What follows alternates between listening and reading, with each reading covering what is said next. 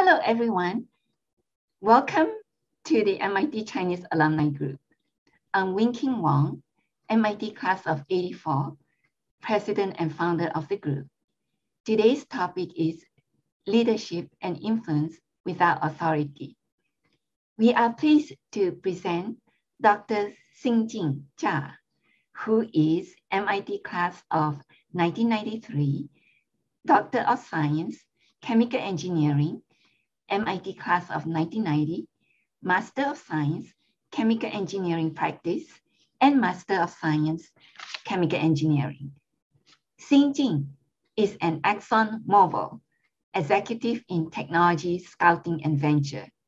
He spearheaded the development of the largest Exxon Mobil investment in China, the multi-billion dollars petrochemical investment in Guangdong.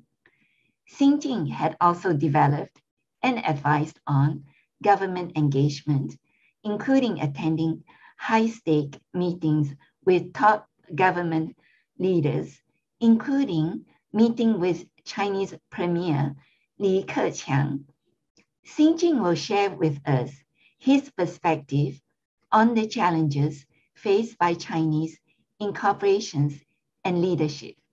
Xinjin will speak for about 20 minutes, then address questions from the audience. You may post your questions now in the Q&A box and upvote the questions that you like. And now, here is Xinjin. But, before I start uh, talking about leadership, uh, let me take a moment to, to acknowledge someone in the audience. Uh, he is uh, not, not only very special to me, but uh, he is one of the true uh, Chinese American leaders for many, many years. he is Professor James Wei. He might be in the, in the audience. he was my PhD advisor when I was at MIT 30 years, 30 years ago. He was the, at the time, he was the uh, department chair. Then he moved on to, to Princeton, be the dean of uh, chemical engineers, uh, dean of uh, uh, Princeton Engineer School. Uh, all my journey started with Professor Wei 30 years ago at MIT. Let's all give Professor Wei a virtual applause. thank you, Professor Wei, if you're there. Uh, with that, uh, let me uh, first have a very brief introduction of my journey, including all the uh, fumbles, the stumbles, the mistakes I made uh, over the years. Uh, not that I want to talk about myself, but really demonstrate uh, that leadership development truly is a, is a journey, it's a lifelong journey. Uh, in this journey, we learn, we make mistakes, we reflect, we learn how to be a leader. And uh, everybody's journey will be a little bit different. And here, here's uh, myself. I was born in the year of early 90 60s, uh, you know, in China at the time was uh, the famine year. The fact I was able to survive uh, is, uh, is pretty lucky. A lot of people born in that time actually didn't even survive. Uh, my, my education pretty much overlap uh, with the, all the chaotic year of uh, Cultural Revolution. You know how much I studied before college. Uh, naturally, when, when the college uh, started to uh, accept the student, I failed my first college exam in, in 77. I had to wait for the next year to go to college. luckily, after worked for a few years on various different jobs in China, I was able to come to MIT in 1988 uh, in grad, grad school uh, to, to study chemical engineering in 1988. Uh, again, th thanks for Pro Professor Wei to, to guide, guiding me. I actually was the only Chinese student from China that year attended the chemical engineer that year after finish up uh, at MIT, mm, it was a tough market and uh, I was uh, soundly rejected by both Exxon and Mobil. At the time, uh, those are two separate companies. Uh, uh, end up, I worked for a different company called the W.R. Grace, some, some of you might know.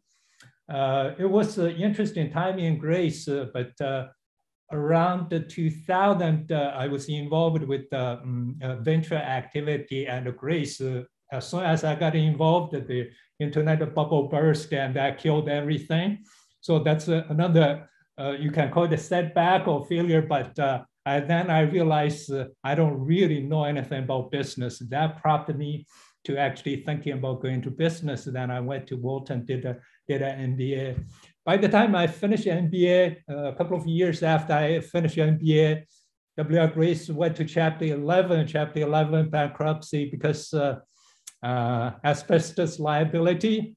So that's another cur curveball throw at me before I uh, finally joined the ExxonMobil in 2005. In ExxonMobil, I uh, progressed in various roles in technology license, sales licensing. That's really where I learned uh, uh, a lot about global business because it was uh, technology licensing is a global business. And I had to work with um, customers, partners from all over the world, traveled probably 30, 40 different countries, working all over the world. Really, you start to appreciate how different culture uh, work with the different issue research people uh, from all, all over the world have a different different way of interacting, different way of working. Uh, that that's a really uh, experience helped me to develop my leadership in, in a, a, very unique uh, setting. About 2017, uh, I, I went to China to start lead this uh, capital investment project in China. when, when King uh, mentioned earlier, it was ExxonMobil's largest investment in China. And uh, the unique part of that experience is to really help you appreciate the difference between Chinese culture and Western culture in terms of both the business environment and how to work with the government, how to work with people. Uh, I'll be uh, very honest with you, there are successes in that experience. There are less successful experience in that part. But in the end, I learned more than uh, I ever imagined through that experience. Uh, it's a, in the end of the day, really, this is, I want to mention, this is a, a journey. There are a lot of failure. Career is never a straight line. You're going to go through a lot of a zigzag. And the key is every time it doesn't matter, it's a success or it's a failure or whatever it is, you reflect, you learn, you move forward. That, that's really the key. The other th thing I'll mention is uh, you can tell I did a bunch of uh, different things not in the typical business. I'd see take risk. It's usually those unusual assignment that really give you the opportunity to test, and to demonstrate your, your leadership. That's something I, I want to share a little bit from that perspective.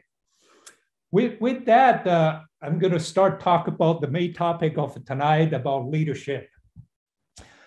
Uh, if you if you're attending this seminar, obviously you're interested about leadership and wants to be a leader. Uh, if you if you uh, I assume many of you in the in the audience got an MIT degree one way or another. You're smart, you work hard. Uh, does that make you a leader? maybe, maybe not. Uh, it's uh, being smart and being, being wor working hard doesn't necessarily, it's, it's sufficient, it's necessary, but not, not sufficient to be a leader. Uh, it's you often hear uh, in the today, especially in the in the corporate world, you need the leadership. But the problem is no one really explain to you what what what is leadership or what does leadership mean. If you talk to 10 people, you, you end up with 20 different answers. Each book tells you something different about leadership. My reflection is really through, through my career is uh, there is not really one definition of leadership. Every, everyone is different. Everybody has to define what their leadership mean. Will have a different interpretation of what leadership is or is not what's really important is each one of us has to internalize what leadership means for us as an individual. Uh, so I, uh, what I'm going to share really is my perspective of leadership. It doesn't mean this is the way you should be looking at leadership or anybody else. Yes, just want, want to share again my perspective of uh, what, what's important in terms of leadership. The first one I want to share is the leadership is uh, about self-awareness awareness versus self-confidence. Many of us, uh, especially early career, when we start our career, you probably hear people talk about feedback, uh, especially as a Chinese American, Asian American, you hear this kind of a feedback uh, all the time. You need to be more uh, outspoken, you need to be more confident what what the problem is uh, it's very hard to think about what what does self-confident mean does that mean you need to pretend to be something somebody you're not to be pretend that you know more than what you actually know it, it's a the more I think about this, the way I internalize it, really, it's not about self confidence, it's about self awareness. By self awareness, uh, I mean four different things. One, you need to know what's your strengths, what's your weaknesses. It's not, it's not always easy. Actually, you know, when you when you trying to think about if you're good, very good at something, if you're naturally good at something, you think it's easy, but that you don't necessarily appreciate that that's actually a strength you have other people may not have. Especially if you attend, attend at MIT, you probably uh, pretty good at certain things you tend to assume those things come natural to everybody. That's not necessarily true. So know your strengths and know your weaknesses is very important. Just knowing is not enough. If you know what your strength is, you need to figure out how to leverage your strengths to grow think one more beyond, hey, I'm good at this thing. What does it take? You know, how do I leverage this, my strengths to, to influence, to drive activity, to lead in change, to be very thoughtful about leverage your strengths to grow your career. That, that's one, one step beyond. The other one is your, you know, if you have areas that you think it's a weakness, weakness you need to improve, try to think about in a way, um, this is also very difficult to, to get a true assessment of your own weakness. If you ask people to feedback, people generally don't tell you honestly. A lot of that time, they don't honestly tell you your weakness. My experience is asking people for advices, don't ask for feedbacks. If you ask them for advices, people tend to tell you, hey, you could do this differently, you could do this way or differently. Asking for advice, generally you get a better chance to, actually uh, assess what could I have done differently, where I could improve, where I uh, do differently. The last thing about the self-awareness, uh, it's a, it's a, we tend to miss is uh, self-awareness is not just about you know yourself. You have to know how you are being perceived by others. You, you could argue other people's perception may or may not be accurate, may or may not be true, truly reflection of a reflecting yourself. That actually doesn't matter. Even if the perception is 100% wrong, that still impact how you are being perceived as, still impact your effectiveness in the organization. So it's very important to to try to get a sense of how you are being perceived in the organization so you can be more effective when you interact with the people, when you navigate the organization. So that, that's the full, full aspect of self-awareness I tend to think about it. If you, going back to the self-awareness versus the self-confidence, my thinking is uh, if you are self, have a self-awareness, typically you are going to be self-confident. But the other way is not typically true. Means if you're self-confident, doesn't mean you're going to have self-awareness. That, that's something to, to think about. The more, I think the more you know about yourself, the more control you'll have for your career, your life. Uh, that, that's how I see one important aspect of leadership is really to step back, uh, reflect, and have a good uh, self-awareness. Uh, I think you're going to be much more confident once you have the self-awareness. You know how one to push back, uh, one to take a strong stand, because if you know you're you are really confident you're right, you you are going to be much more assertive. You are going to be much more confident. that, that's the first aspect to me about leadership. The second aspect of leadership uh, uh is, is about, no, I call it leading, not authority. It's uh, leadership really is uh, uh, about create a vision, inspire others to do the best that they can to achieve a common objective. Uh, objective. At the same time, you need to give the opportunity for others to learn, to grow, to max their, maximize their potential. It's a, you can tell it's a, there are quite a few elements I throw in there, vision, the objective, uh, allow others to grow, a lot of things. But I did not include in one thing is people tend to think about leadership as managing people. Today, the organization everywhere is getting flat, getting more matrix, getting complicated. Success very often is not defined by how many people you're managing, but it's more about your ability to lead organization change, influence decisions, how to develop people. Uh, it's a, it's a, this has become a cliche, but uh, you know, uh, not not everybody can be a manager, but I think everybody can be a leader. It's a, to be effective uh, in, in, a matrix organization, you, you have to figure out how to break a barrier, how to remove boundary, how to work with, with uncertainty. All those things, uh, you do not have to be a manager to be effective in those space. One of the framework I use, uh, I share with a lot of people over the years, uh, I call it the two, two circle theory of leadership. Uh, I made up this term. It's a, if you think about the kind of activity you do in, in a, any, any job, including company or whatever you do, typically, you know, if you think mentally, think about a small circle and a, inside a big circle, typically whatever inside this circle, it's a, it's clearly it's your job. You know you have to do it. The outside the big circle, typically you know, hey, you're not supposed to do that. That's outside of your realm of uh, responsibility. You're not supposed to do it.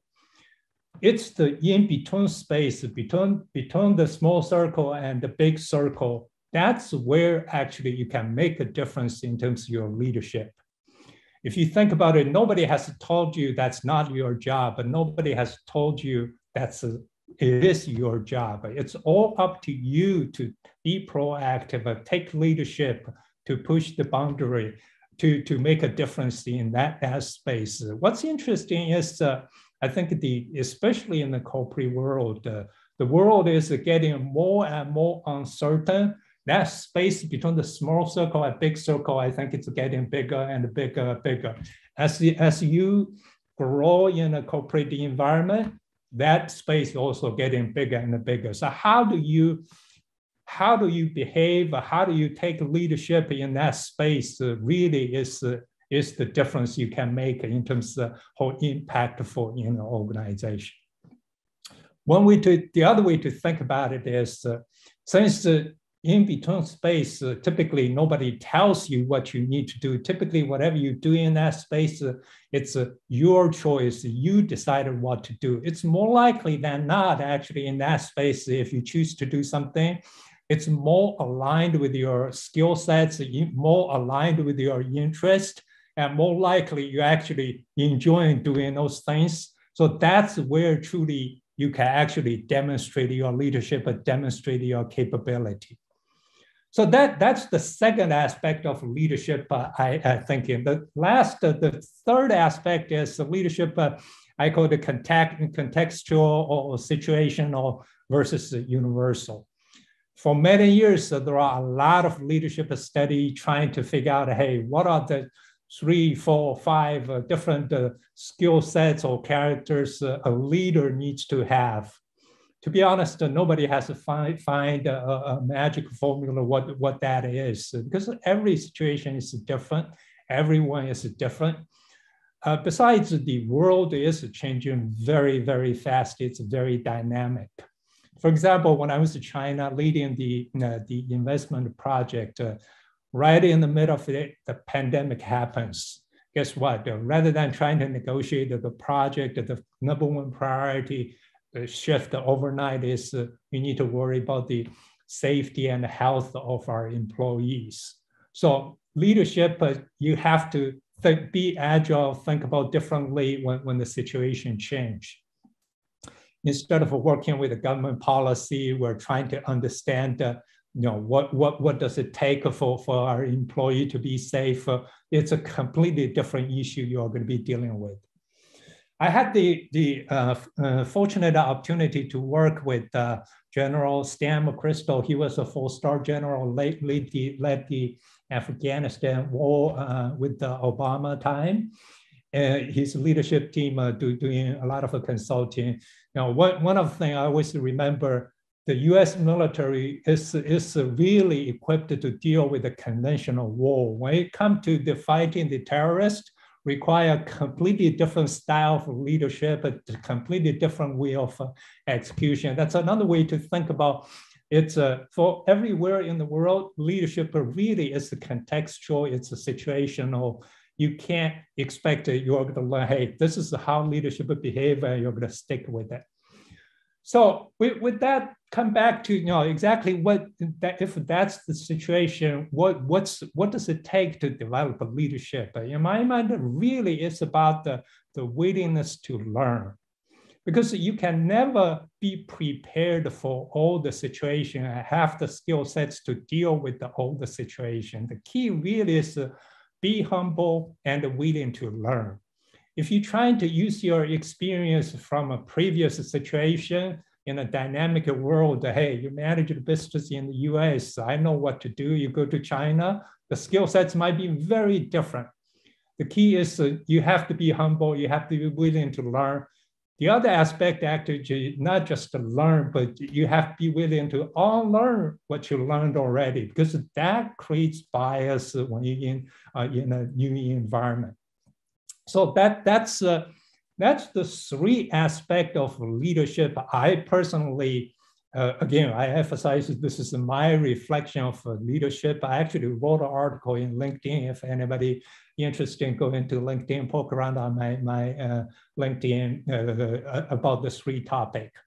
That's the first thing I want to talk about. It. The second thing is about inference, inference of the without authority all of us probably have had a situation in company that the, your success is uh, dependent on some, somebody else who you have no control, you have no authority at all. Typically, success of those initiatives uh, can really define the company's success or your individual career success. So how do you think about inference? Uh, uh turns out that Aristotle has uh, developed this framework 2000 years ago for us. Uh, by the way, this is a framework I actually learned. Uh, my son attended when he was in high school, attended debate team. This is the framework they used and he shared with me. The three uh, Greek uh, logos, ethos, as pathos. The fir first one, logos, really is about logic. When you're trying to convince, in inference something, you use facts, you use logic, you use data. And second one is your, about your credibility, your reputation, whether or not you're trustworthy. The third component is uh, it's a, typically it's about emotion, but there are a little bit broader than just the emotion, storytelling, metaphor, how do you connect with the people?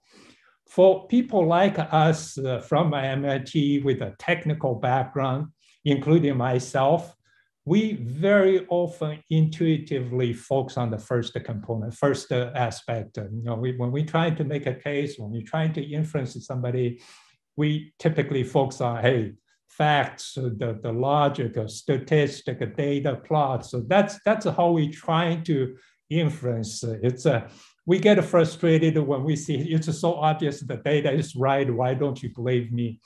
Uh, it happens uh, very often. For all technical trained people. If you reflect on those experiences a little bit, you realize uh, most of the time, the fact that the inference was not uh, effective, not because you lack of expertise, not because you lack of logic, very often it's lack of uh, credibility in the organization. If you're new with the organization, you, if you're early career, or if, if for whatever reason you are perceived to be outside in the organization, doesn't matter how right you are logically, you are not going to be able to influence the organization. So how do you how do you, you know, question how do you establish your credibility in an organization? I look at a credibility really as expertise plus trust it, it, you typically you already if you're a graduate from MIT, I'm sure you have the expertise to do whatever you need to do. It's the trust level.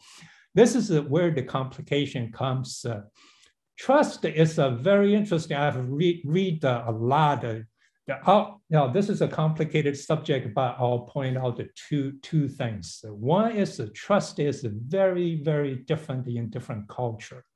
For example, people, there are thousands of study the, they see Chinese tend to be more trusting. If you survey see here, can you trust everybody? About 60% people in China would say yes. In America, typically that number is about 40. In Japan, I think it was like 20 or 30. So you would assume that China is a more trusting uh, society uh, in America, but it's much more complicated than that. In, in, in America, I think people tend to trust uh, based on your, your past performance, uh, based on what you did, based on some uh, uh, skill sets or how you performed. In China, tend to be more emotional, you know, whether or not you were friends, your uh, connection, relationship. It's the relationship and trust is very, very different. If you're trying to interact with the people from a different culture, you have to have the awareness that how you establish trust might be different from the other party. If you go to Middle East, for example, it's very different from the US in terms of how you establish trust and how long does it take actually uh, establish trust. That's one aspect. The other aspect I'll point out is uh, regardless of what the culture is, uh, I think respect and transparency always go a long way in terms of establish your credibility and trust.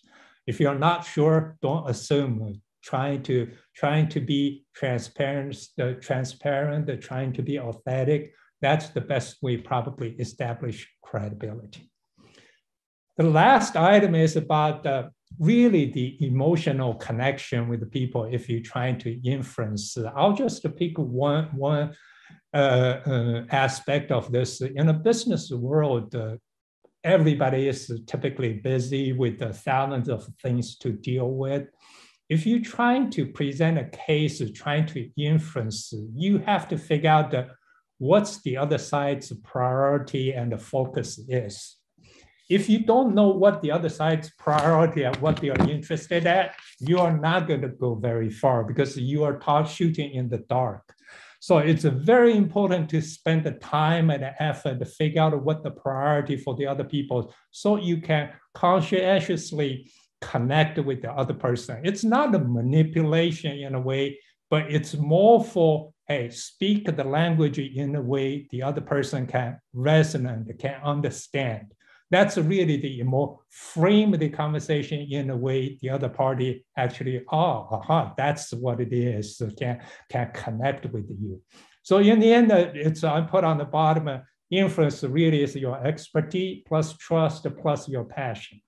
Uh, that that's not not my framework. That's Aristotle's framework has been around 2,000 years, but I think this is a very effective framework to think about influence in the organization.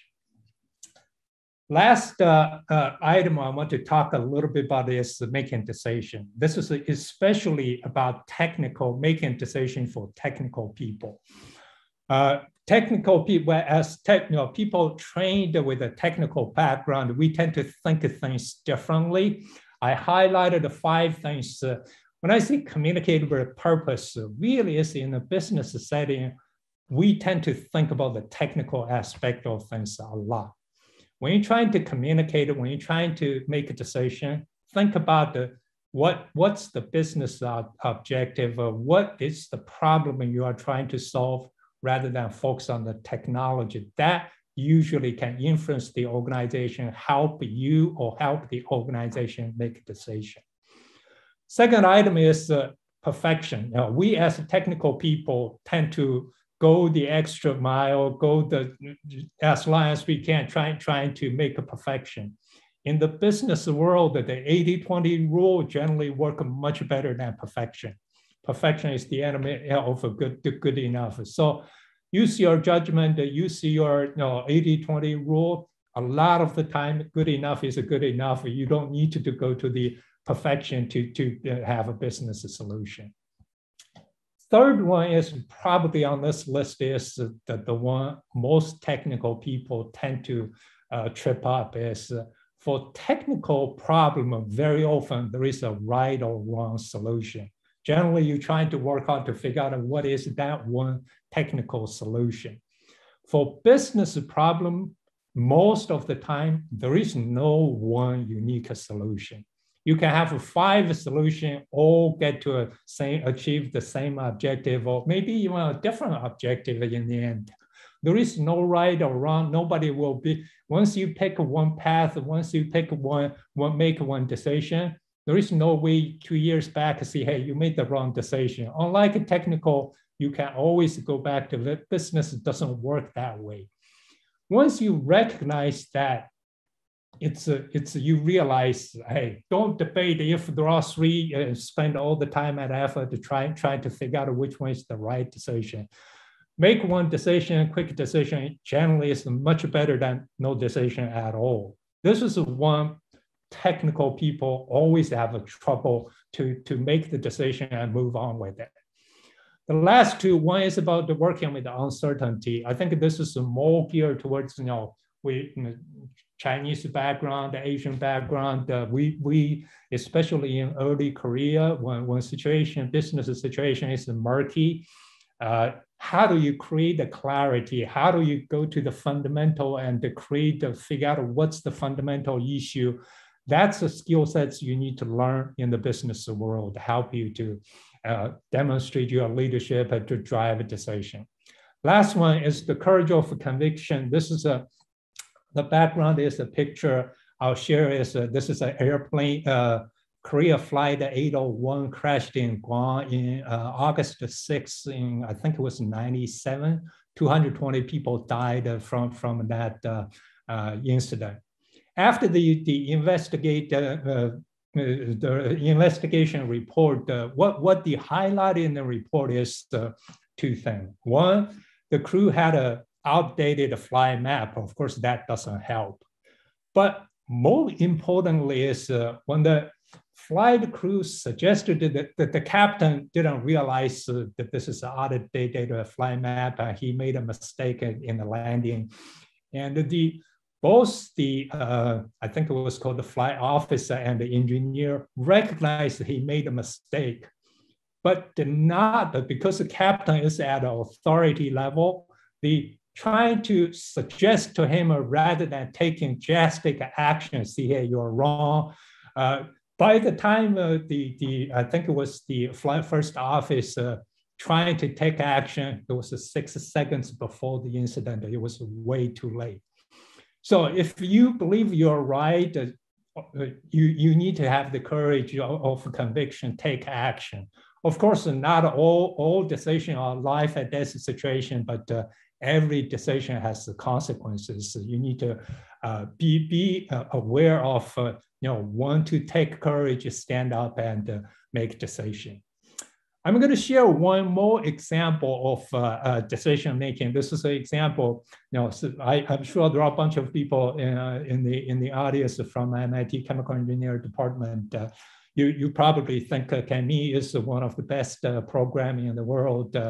Actually, it was not always that way in 19, uh, in the mid 70s when Professor Wei became the department chair.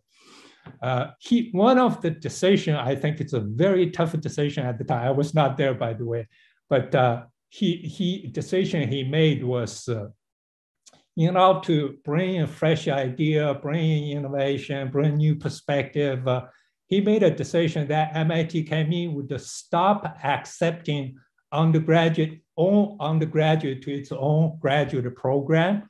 At the same time, its own graduate students would not be able to become its own faculty directly. That was probably a very controversial decision at the time, but it's the tough decision like that actually drive organization change. That's how you create the excellence. That's why MIT ChemE has been, has been at the top uh, uh, since that. That's leadership. Uh, let me close by uh, saying this uh, conversation saying by leadership development really is a journey. There is no defined goal. Hey, here I, I got it. That's it. It doesn't work that way. It's a journey. On this journey, you're going to stumble, you're going to fumble, you're going to make mistakes. But the, in the end, the key is uh, doesn't matter what the outcome is with each experience that you want to reflect, you want to learn. Really, uh, in the end, the journey is the reward. I, will show you that this is a, a, photo I took uh, in the woodland. I like a run. The journey is the reward. That's the career is like that. It's a, it's not a goal.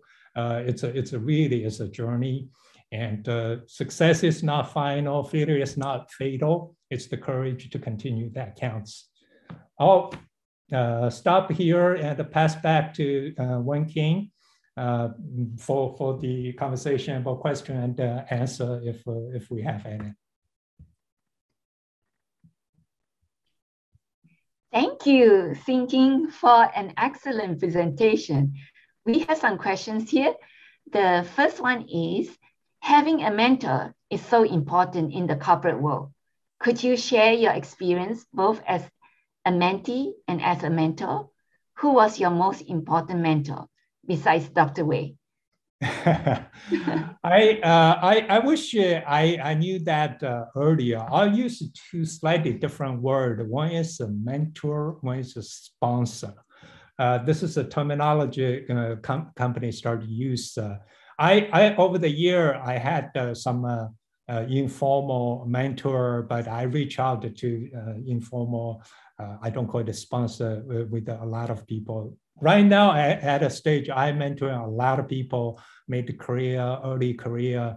The few things that i learned is one uh, sometimes we're hesitant to reach out be proactive. Uh, my my experience is most people uh, i would say 99% of people are more than willing to share their experience uh, as long as their time works you're proactive reach out people. They are more than happy to, to be your mentor. You know, you own that relationship, but they do not. So you have to be proactive, uh, schedule time, pick topic. One thing I find effective is if you're going to schedule a time with a uh, mentor, be prepared, pick a, a specific topic, a specific issue. Hey, here is what I'm facing what would you suggest? What are the options? Uh, be specific. Again, you need to take ownership of that relationship for it to work. Thank you. Sponsor is a slightly different concept. It's uh, in company, typically, uh, if you sponsor typically a little bit senior manager sponsor you means uh, they are going to formally advocate for you. Hey, this person has this capability. We should move him to the, or her to a, this role. Oh, that that's the type of thing they, they can not just to give you feedback, but more importantly, advocate for you for your development in the company. Both are very, very important in the company. And who is your most important mentor besides Dr. Wei? I, uh, I, I probably don't need to name the name, but uh, in, in the company, I actually, uh, one, one of my manager, uh, about three years, uh, three, four years, uh, the first of uh, three, four years, he was my manager at ExxonMobil. But over the years, he retired a long time ago but uh, I still connect with him uh, once in a while uh, if, if I have a bunch of idea and uh, just uh, uh, get get some different opinion. He has been very very instrumental helping my development in ExxonMobil. Great. So the next question is, what is the most difficult decision you've had to make as a leader? Most how difficult. You, yeah. And how did you approach making that decision? How does one balance a tendency to be overthinking engineer with gut feelings? over the, yeah, it's a. Uh, I I see that uh, that's a. I'll tell you one of the difficult decision I had to make. Uh, it's a. Uh, I'll, share this is a recently recent experience. I was in China for three years uh, trying to develop this uh, investment opportunity in China.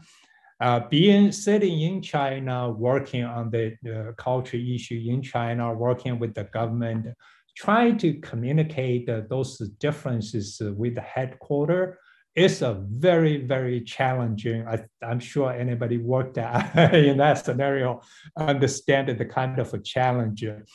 How, how do you now, how do you uh, position those? Uh, how, now, when do you push it? When do you see accept? That, Hey, no, I'm not going to make a difference here. Let's uh, move on to the next subject. How you see, hey, this is really critical. I need to find it. Uh, those are very, very uh, difficult decisions in terms of the business side. In terms of, you know, I'll pick another example in terms of personal decision is uh, uh, I, I, changed the job from Grace to, to ExxonMobil around 2005. Uh, I truly enjoyed my, my uh, career in, in uh, Grace. I still have a lot of friends there. It's a, it's a very difficult decision when you're trying to change. Uh, it's a really, uh, in the end of the day, it's a, at the point that I felt that I need to have a different uh, setting, different business environment for me to demonstrate my capability, my leadership. Uh, uh, in the end, I th- thought it worked out well. Uh, so change, uh, we all afraid of change. Change always hard, but uh, most of the time, change work out, work out better than you think. Oh, good. That's good to know. So the next question is, how would you advise us to develop self awareness over time and get a clear picture on how we are perceived? And then, any personal tips or advice that work for you or others around you? I, I had actually had a, a, a, executive coach work with me on this specific issue. I think self awareness for know yourself better it's mostly reflection. Every time when something, uh, a project or something didn't work out, or you had some setback, uh, spend the time to reflect. Should I have uh, done differently? What if I did differently? Not trying to second guessing yourself, but uh, hey, reflect to see was there a different way to deal with this issue? I think over the last few years, I learned that that's truly a way of uh, getting better self-awareness uh, uh, about you know what I did well, what I didn't do well. That that's in terms of the awareness about perception of yourself by others. That's difficult. I think you you know most of the time is uh, when you when you interact with the others you uh, you know some people you can read the body language other people it's very difficult to read their body language. So it's a uh, you you you have to continue to test, to continue to uh, engage, be proactive, engage to to see uh, what what that dynamic is. Uh, I, I would say for that part, uh, there is not a magic solution. That's one when like a mentor or sponsor really can help. Usually those people are not in the direct reporting line. They can give you better sense of uh, uh, how you are being perceived in the organization or how you, how you should uh, behave or, or do things differently. Okay, thank you. Another audience member um, asked permission to describe your approach as a more collaborative approach than compared to the Steve Jobs approach. Uh, Steve Jobs, who was supposedly more demanding, can you characterize a right time and situation for each of the approaches? I, I, would say uh, again, different different people will have a different style. Holding people accountable for holding yourself accountable is important. But not everybody is a Steve Jobs, and not everybody has to behave like a Steve Jobs. everybody will have a different style. My my uh, preference or my style generally is, uh, uh, you know, business itself generally is very competitive uh, in today's uh, world. Uh, but on the other hand, it's a I, my experience, I think most people will agree, is getting ahead by stepping on other people is not the way to make progress. Uh, the more you work in a business environment, the more you realize helping other people successful is the best way for you to achieve success. So in that sense, uh, uh, you know, mm, do, do not just trying to be successful yourself, but make your team successful, make your teammates successful, your team member successful. That's how you demonstrate leadership. That's how you uh, be successful. Because in the end of the day, nothing we do in a company is an individual contribution. It's everything we do is a teamwork. Unless you have a healthy relationship, a healthy team, you're going to be spending more time to deal with all those issues than actually working on your job. So in the end of the day, the more successful other people around you are, the more successful you will be. Thank you so much. I so appreciate your answer to that.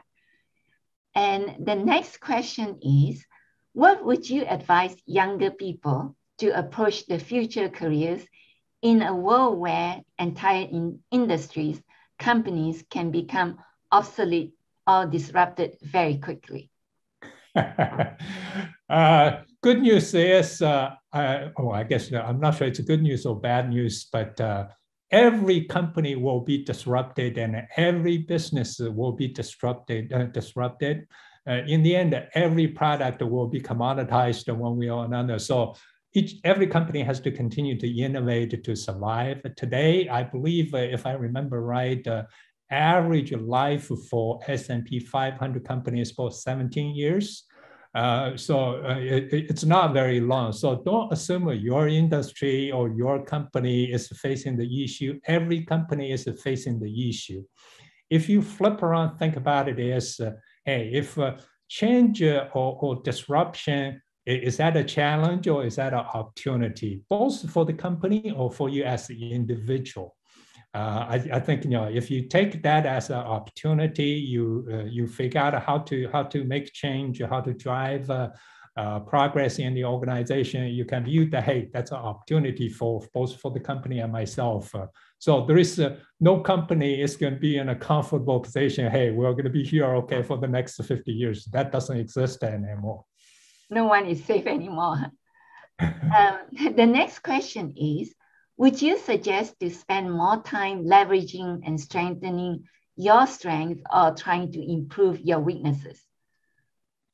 I, uh, it's an excellent question. That's an excellent question. Uh, you know, there are plenty of books on, on both sides. Uh, my, my sense is you actually, uh, you need to do both, but actually you should uh, not just to figure out your strengths, but how do you leverage your strengths? It means the more clear mind you are, hey, here are the three things that I think I really do well. What kind of a position, what kind of a job I could leverage that expertise or leverage that strength to demonstrate my leadership. Have that clarity, I think it's very important. There is a book, I forgot who spoke about leverage your strengths. That, that's the whole book is about. Uh, trying to improve your weakness is hard. I think the, the the key again go back to the self-awareness is uh, uh, be aware that's something you're not good at is important. Whether or not you can improve it i'm not sure. You know for example we'll ne- never speak english as fluently as somebody else who grown up here. That's a given. If you focus on that you're never going to get there just to be aware of the fact, hey, I'm not fluent, but that's fine. I can speak Chinese better than them probably. That that's enough. Uh, so I guess the the answer, short answer is I think leverage strengths is more important than trying to focus on the, the weaknesses. Thank you so much. And the next question is, I wonder what's your hiring philosophy? How do you make a quick call on whether to hire a person? Uh, hire person, I did hire quite a few people. Uh, the, the few things that I, I'll mention is uh, uh, I uh, over the year, I, I, I'm guessing 70, 80% of the people I hired are referred by either referred by somebody or I know them uh, in some context. It's a uh, so so that I can trust. Skill sets uh, is important, but to have that trust level, uh, this um, person will work uh, is uh, to to very very very important. It's uh, because uh, I, I look at it this way: most company uh, when they hire people, the technical skill sets. If you're from MIT, for example, very rarely you need to think about, hey, do you meet the technical requirement? That's not a question. It's really, hey, uh, people tend to think about the, the hey, is a fit for the culture or not. Nowadays, more and more people actually, I wrote this, uh, it's a, uh, in the in the context of the inclusion and diversity, does this person add to our culture or not? Uh, if we are all thinking in one way, uh, bringing something, somebody has a unique, different skill sets and may add to a different aspect of the capability of the team, add to a different way of thinking, that that's the kind of thing I, I tend to think about it. Nice. So uh, the next question is, I have found that a lot of times as a Chinese American individual, people see me as a technical expert, but not necessarily a leader. Do you have some insights to share on this? Uh, yeah, we we are. Uh, I I've seen. You know, we are uh, pigeonholed into that place very often. It's uh, especially if you have an MIT degree, uh, that sometimes become a disadvantage actually because uh, you, they think you can you can do technical. They don't think about the uh, other aspect of your your capability and skill. So that that's uh, I I think uh, you know one of my colleague told me yeah, if uh, uh, if you're not uh, uh, making progress, do it do it as twice as good as anybody else.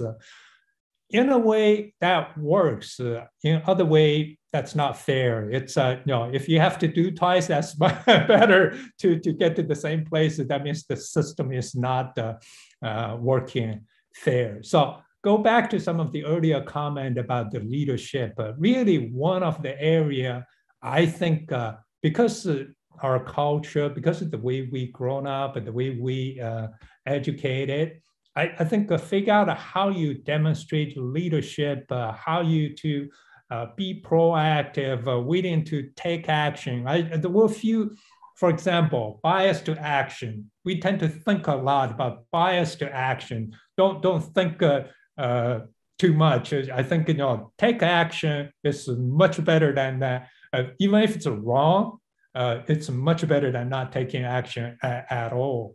Those are the, the kind of thing you demonstrate leadership but enough time. I think you are going to be uh, perceived as a leader uh, one way or another. It might take longer, but that, that that's what, uh, what it is. There is no magic solution. Wow. So, what are the ways you use to learn continuously and to improve as a leader? Uh, I, uh, I, I read a lot. I I read books. Uh, uh I uh, one one thing the last three years I start to do is uh, I start to write. I, I have a leadership blog on my LinkedIn. every week I write a blog. Uh, I started three years ago for a different reason because I went to China. I want to connect with all the thousands of people I worked worldwide. But uh, what I find is uh, by reading, by, by writing it, help me to clarify my thinking process. For example, hey, what is the framework for leadership? What's the framework of influence? Uh, by you think you understand it until you start writing. Hmm, it's not as clear as I thought. I think it force you to think about it, force you to have the clarity. Uh, that that's whole I learned. The, the other way is uh, by writing it, other people share their thoughts. Uh, actually, I learn a lot from other people who share their comments on my blog. Uh, I, I, really carefully read it, uh, give a very different perspective. That, that's another way to learn. I read your blog too. what were your major hurdles in examples of the in-between space and the in-between times when times look tough for you? Uh, I assume the in between means the circle I was talking about. Yes. Someone is paying attention. yeah, yeah, yeah. It's uh, one, one, one thing you have to be careful when you use the framework I, I portrayed the small circle, the big circle is uh, to have a very transparent relationship with your manager. Some manager uh, okay with you push the boundary and uh, view that's a positive thing, that's leadership, that's wonderful, you get rewarded. Other managers tend to hold things tight. If you push too much, you may get into trouble. So uh, you you have to you know the the manager is not going to change for you. You have to adapt it to your management style. So my, I always advise people when you have a new manager or when you join a new group, always start with a conversation, open conversation. Hey, here is how I worked with my last manager. I have a weekly meeting, or I send email. This is how I uh, communicate. Uh, what's your preference? Uh, what's your style? To have that conversation will really help you to set the expectation in the right place going forward. To have an open conversation. This is you know uh, if you're trying to push the envelope in the organization, somebody will get be uncomfortable with it. You better have your manager behind you uh, if you're trying to push the boundary. So that that's uh, uh that's the advice. I'm not sure I answered the, the specific question, but that's uh, my take on the question. Talking about transparency, we're going up to the hour. So um, I you graciously have previously agreed that you will go beyond the one hour if we have lots of good questions, which we do. And for the I'll audience, be happy happy to stay happy to happy to stay and have uh, more conversation. Great, thank you so much. And for the audience who have to leave, uh, feel free to leave, and we will stay for maybe another 20 minutes to answer the rest of the questions and uh, keep the questions coming. They are great questions. So um, prior to that, the other person also had the question of what do you what did you do during the in-between time when you're facing some tough time? How do you overcome that and manage? Uh, uh, how do you manage? Uh, I, uh, again, the it's a, it's a, like I said in the first uh, slide, uh, I, I had a lot of setbacks in my career. Uh, most of you, a lot of you from China, you know how it feels when you feel your college exam. I actually feel a lot more than that. I failed my first graduate school uh, exam. I had to work for another year. So uh, it's a failure. It's a, it's a part of life. Uh, what you'll find is throughout the career, uh, you learn a lot more from a failure than success. Uh, it's uh, every time you have a setback, you reflect and you learn. Uh, that's I think that's how we grow, and that's that's actually what make life more interesting. You have a very positive attitude. Thank you. Very constructive. so the next question is by your observations, do you think that AAPIs in the corporate world in America generally face a glass ceiling whereby they can reach management positions but seldom advance to the highest levels of corporate leadership, such as CEO or board? If so, why does that persist? And do you think it will improve and why? Uh, first of all, let me acknowledge, you know, if you, if you look at the corporate world in the last uh, 20, 30 years, I think a tremendous progress has been made. Is it perfect? Of course not. Uh, no, this, uh, if, you, if you look at, uh, use the context of AAPI, if you look at our India friend, they are making tremendous progress uh, between Microsoft, Google, and all the uh, CEOs, the big uh, big CEOs in, in America. That's indicative of the progress the society is making. Now you come back there is a there is a there was a study actually done by MIT professor Sloan School professor uh, Jackson. I forgot his last name. Uh, he did a study to look at the Eastern Asian versus the Southern Asian, basically China, Korea, Japan versus India.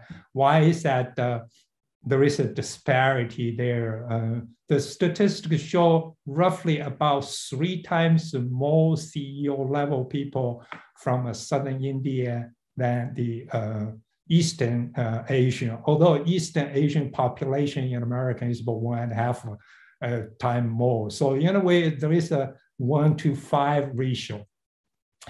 When, when he analyzed uh, some of the data, clearly it's not because the difference in motivation, it's not because the difference in, in your skill sets. The other one interesting is, uh, is that the conclusion from the study is uh, it's not because of prejudice. Actually, South, South Asian face more prejudice in, in America than East Asian. That, that's a very interesting study. If you if you Google it, you'll find it. What he concluded was uh, again, this is a his study. Uh, you you have to uh, just uh, it's one study. He concluded it's not because of prejudice, but because the uh, the difference, main difference is assertiveness. So go back to my earlier comment about the self awareness. The more you're self aware, the more uh, confident you are uh, it's uh, somewhat connected with that conversation, but I thought uh, I shared that uh, uh, study uh, with you. help you to think about the context. Again, I think we have to recognize tremendous progress that has been made. you know, whether or not it's it's there, obviously not. but you know, while we work within the system or, or trying to uh, change the cooperation, but also reflect why is that the difference uh, ourselves. Yeah, is there something in our culture that we should unlearn or improve upon?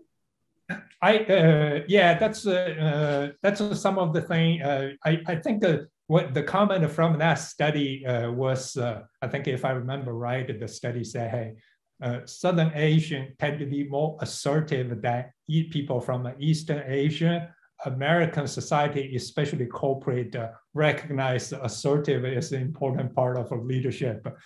Again, it's one study, don't, read too much into it. It's a reflection of the kind of thing we behave because our culture uh, versus the expectation in American society. It's not, there are misalignment and not, not always the same. I look at it this a little bit in a different perspective is uh, we are who we are. I'm not going to change who I am. Uh, but you need to recognize what this society or what the corporate world values so that you recognize those disconnect. You don't necessarily need to change who you are or how you behave, but if you know, hey, there is a connect disconnect here, you would be able to bridge those gaps in a different way. Thank you. That's very helpful about assimilation or not, or giving up a part of yourself. Uh, yeah, I, I, again, I, I don't think uh, you know you are who you are, and you you are as a full person. Uh, you you you cannot change who you are just because the company asks you to be something different but recognize those disconnect uh, help you to bridge the gap. Okay, thank you. Um, another question is, I believe being a leader can be quite a lonely position. How would you find support to share experiences as leaders, assuming outside the specific industry? Uh, I, I think it's a very personal thing. I, I didn't feel I was lonely. I hope uh, other people didn't feel that way. Uh, I, I try, no, again, this is a different, more a style, different style. And uh, the more transparent you are, the more authentic you are, I think the more you connect with the people. One, one thing in the global business today is that when I was managing our uh, licensing business, was probably, I don't remember, 25 people. uh, people from all over the world, from, uh, if I remember, 17 different countries. Uh, it, it's a different culture background, different language, different style. You have to be very transparent because you know everybody think differently. The only way to, to connect with the people is to be honest, be transparent, and if you if you're not sure, ask. Be humble, ask. Uh, that that's the only way to connect with the people. Uh, if if you choose to be alone choose to have your own style and making your own uh, decision that that's a i think it's a personal choice. Not all leader has to be uh, that way. That's good news. Thank you. How do you think about or measure successful mentoring?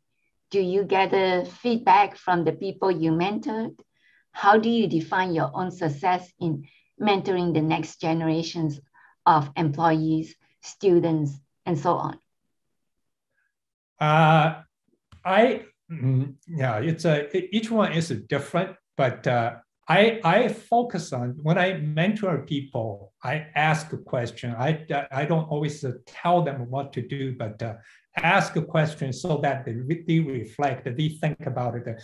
Uh, more likely, they're going to internalize. Uh, in the end, uh, you know, whether or not uh, whatever they learn, it, if it's useful or not, they have to make decision and they have to take uh, those uh, those advices.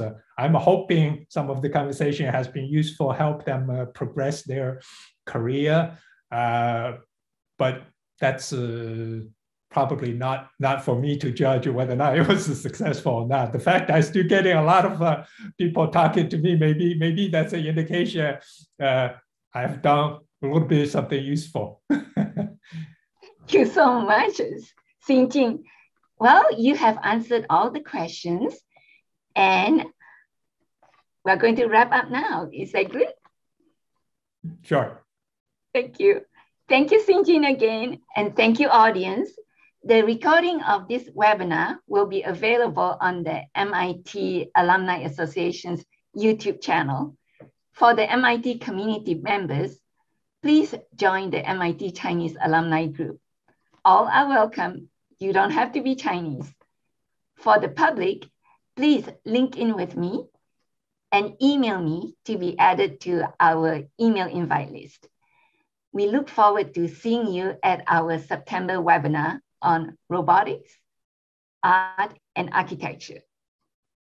Until then, thank you for coming and goodbye. Thank you, Wenking. Thank you, Mona. Thank you, Thank you Diane.